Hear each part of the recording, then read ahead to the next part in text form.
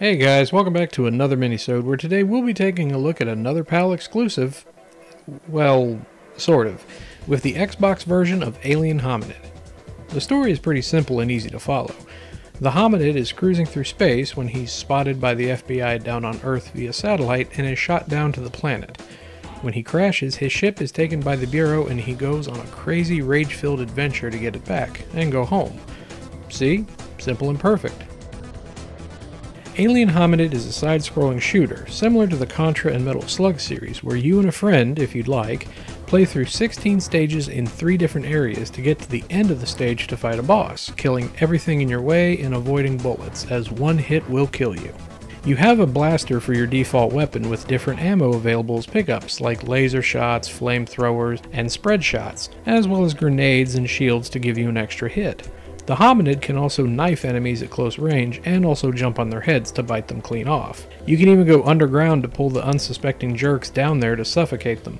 On top of that, there are parts where you can drive vehicles as well as your ship in a shooter segment that kinda reminds me of that old arcade game Sinistar. Along the way, completing certain tasks like blowing up a certain building or just beating a stage will unlock hats that the hominid can wear. They're merely cosmetic, but it is nice to have a little customization with your character. The only complaint I would see with the game, and it's not even a complaint to me personally, is that the difficulty might be off putting to some, as gameplay isn't the only thing that Alien Hominid borrowed from its old school inspiration. This game could be quite the challenge in some parts, especially the awesomely crafted boss fights. Except for that end boss, that guy can eat it. At least the game controls really well, even with that blah yet still lovable Xbox D-pad. Besides the main game, there's quite a few minigames to keep you busy long after you beat the story. There's three multiplayer modes, Challenge, Neutron Ball, and Boss Pinata. Super Soviet Missile Master, where you guide a missile from Russia to the US while dodging obstacles. Then you have the PDA missions, Played from the hominid's palm device, you control a little stickman, killing all enemies to get to the exit, while collecting fruit for points. There's 200 levels to complete, as well as 25 extra levels created by US Alien Hominid fans. You can also get creative and make your own stages if you want. For this version of Alien Hominid, an extra minigame was included called All You Can Eat, where you, well, eat all you can to be the winner. This minigame not only eventually made it to the States on the Xbox 360 HD version, but was recreated as All You Can Quaff in the Behemoth's next game, Castle Crashers. Visually, Alien Hominid is fantastic. Both the characters and the stages are drawn in a way that I can only best describe as a Saturday morning cartoon on the finest of drugs, a feeling that you definitely get from viewing the cutscenes.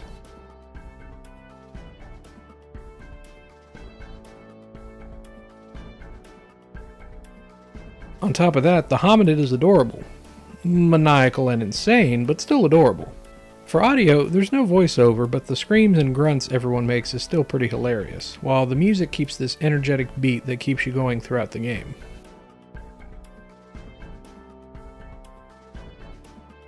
Alien Hominid is a fantastic game that I can't recommend enough, but should you import this version if you're in the States? Sadly, the answer is no.